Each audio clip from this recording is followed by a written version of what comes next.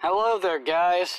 Now, sorry if you can hear some of the neighbors. They're really loud. I'm outside on the back porch. Bees around me, but that's okay. Anywho, I'd like to give a shout out to a new fan. Now, I just recently ran into her today. It's been a long time. She's doing really good. And, yeah. Shout out today goes to Skyla Rippy. Now, she has a condition, but for the most part, she's got it under control.